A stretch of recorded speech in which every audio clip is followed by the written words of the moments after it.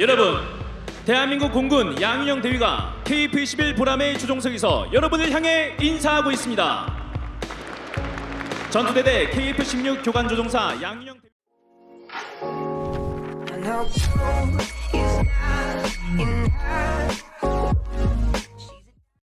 Bienvenidos a México Aeroespacial y Defensa, ¿cómo están? En esta ocasión veremos que el primer prototipo del nuevo caza de diseño coreano, el KFX, tuvo su rollout oficial. Durante la ceremonia de presentación, la aeronave dejó la X de experimental y fue renombrado como KF-21 Boramae, que en coreano significa halcón. El caza fue presentado un año antes de su primer vuelo previsto para 2022.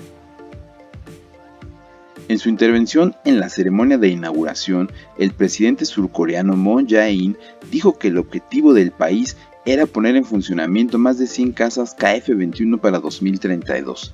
En su discurso, el presidente Moon dijo, se ha abierto una nueva era de autodefensa y se ha establecido un hito histórico en el desarrollo de la industria de la aviación. Además señaló que el avión se convertirá en la columna vertebral de la Fuerza Aérea de la República de Corea y señaló además que apoyaremos activamente a la industria de la aviación con el objetivo de convertirnos en la séptima potencia mundial en el sector de aviación en la década 2030, lo cual viene a ratificar la estrategia de KAI revelada hace unos días para convertirse en la compañía aeroespacial número uno de Asia. Las instalaciones de Korea Aerospace Industries, o sea de KAI, en Sachon fueron escogidas para presentar el nuevo avión que llevaba banderas surcoreanas e indonesias en el fuselaje, ya que este país sigue siendo oficialmente un socio del programa con un 20% de participación.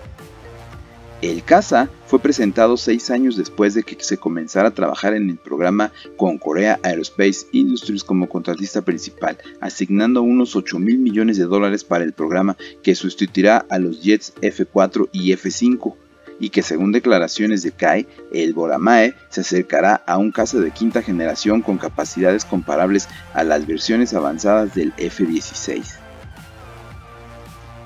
El KF-21 Boramae se convertirá en la columna vertebral de la Fuerza Aérea de la República de Corea.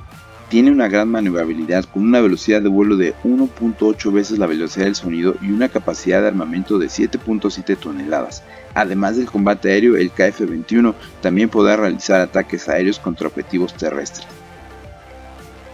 Aunque el avión tiene un alto grado de contenido local como un radar AESA, los sistemas de búsqueda y seguimiento por infrarrojos y un conjunto de guerra electrónica también emplea tecnología de otros países como los sistemas de seguimiento en tierra y de evitación de impacto de Israel o los misiles aire-aire de Francia, entre otros.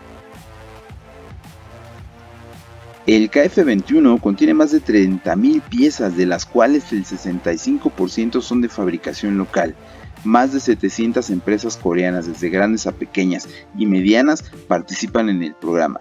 Ya se han asegurado unos 12.000 puestos de trabajo de alta calidad durante el desarrollo, y según el presidente Moon, se crearán 100.000 puestos de trabajo adicionales cuando comience la producción en serie. Si te gustó este video, te invitamos a que nos sigas en nuestras redes sociales. Recuerda que estamos en Facebook, en Twitter, en Instagram y en nuestra página mexicoaeroespacial.com.mx. Que estén muy bien. Hasta la próxima.